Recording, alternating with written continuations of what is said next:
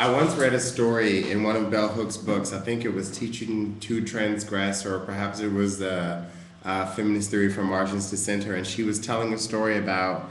Um, it was a slave narrative, and basically there was a black woman who was spread out, spread eagle in the front yard, uh, naked, tied, arms, legs spread out uh, in the front yard, and she was being she was beaten by this her white slave owner and was kicked in the mouth and he was yelling at her to stop screaming and yelling and all this stuff.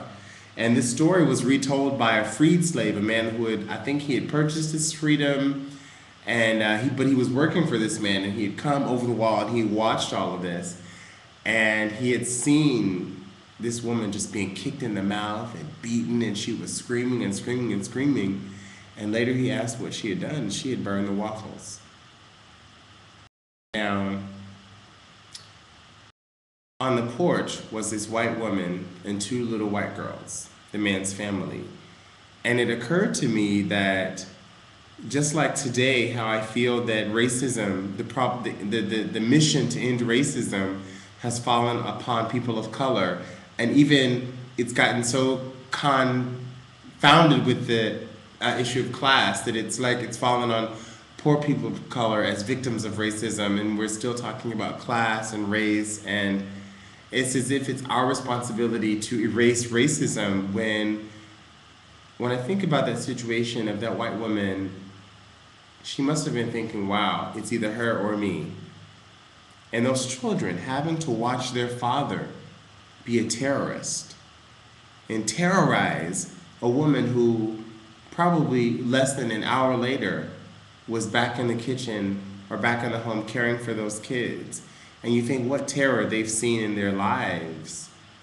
America, for example, really needs to have a conversation about it.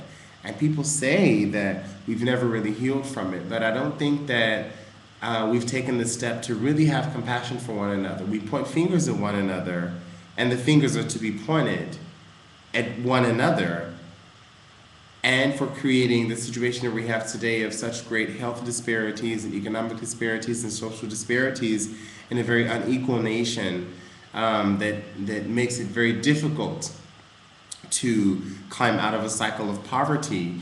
But what you see is the plantation politics playing over and over and over. So that black woman um, finds her way into master's house and so does that black man who was looking over, you know, looking over the fence and looking what's happening to her. What about that white woman? And what about those white kids? You know, what about untreated mental health uh, diseases back in those days?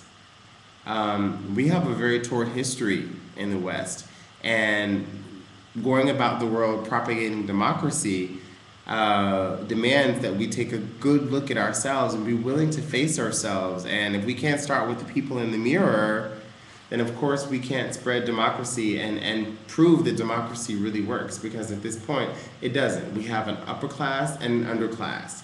And be that about race, be that about gender, be that about class, um, it's a part and parcel of our nations. And it means that we cannot live to our fullest potential. And that's all of us. That's all of us. So the conversation has to be there. It has to start with dialogue. It can't be about pointing fingers.